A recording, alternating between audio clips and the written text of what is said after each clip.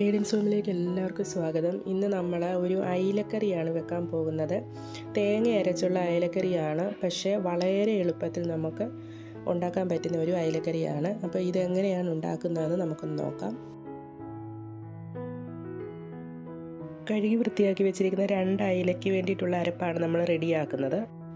കാൽ കപ്പ് തേങ്ങയാണ് ഇതിന് വേണ്ടിയിട്ട് നമ്മൾ എടുക്കുന്നത്. ഇതിലേക്ക് രണ്ട് മൂന്ന് ചുവന്നുള്ളി ഒരു ശകലം മല്ലിപ്പൊടി ഒരു ശകലം കടുക് പിന്നെ മുളക് പൊടിയാണ് ഇട്ട് കൊടുക്കുന്നത്. രണ്ട് ടീസ്പൂൺ മുളക് പൊടി കാൽ ടീസ്പൂൺ മഞ്ഞൾപ്പൊടി ഇതൊന്ന് അരച്ചുകൊണ്ട് വരാം.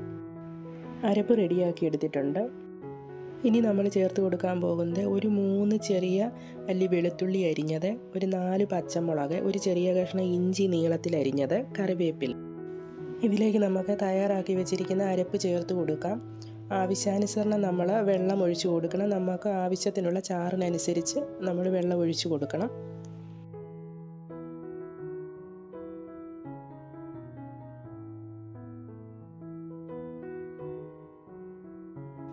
കറിക്ക് ആവശ്യമായിട്ടുള്ള ഉപ്പിട്ട് കൊടുക്കാം.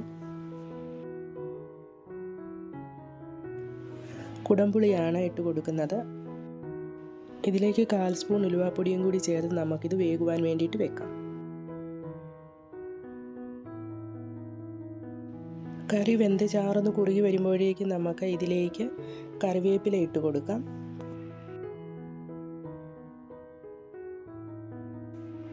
ഇനി ഇതിലേക്ക് നമുക്ക് ഒരു സ്പൂണ് വെളിച്ചെണ്ണ ചേർത്ത് കൊടുക്കാം. അപ്പോൾ നമ്മുടെ അയലക്കറി റെഡി ആയിട്ടുണ്ട്.